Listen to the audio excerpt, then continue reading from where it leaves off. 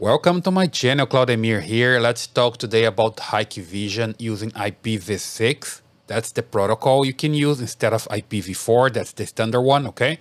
So here I have the image of the camera on the software, the IVMS 4200. And I can show you guys that I have here IPv4, the regular IP. As you can see here, 192.168.0.245. It's using the port 8000. And here I have the same camera using IPv6.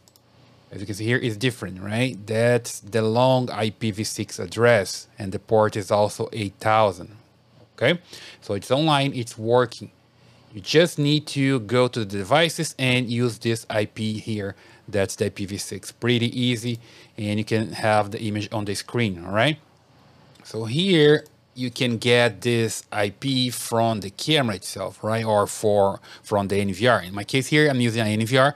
So I just come here on network and here you see the IPv4, the regular IP and IPv6.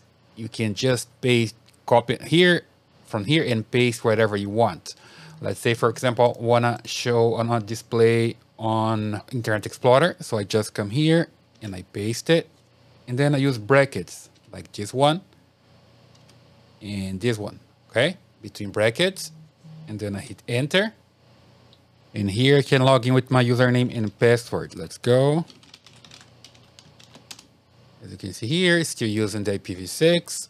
And I just click here to see me, my camera. And here we go. I have my Hikvision camera using IPv6, all right? And works pretty well. It also works with, with, cell phone. I have the app on the cell phone. It works as well. So here's the example I'm using here, Hik-Connect. When I click here, it just load the Hik-Connect.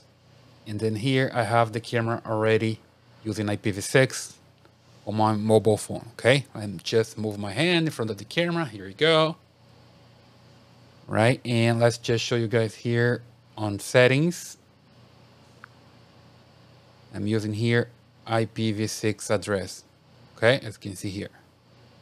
Right, so it's basically working for this camera as well with IPv6. Okay, so that's it for today, guys. Don't forget to subscribe to this channel, leave your thumbs up and your comments. See you in the next video.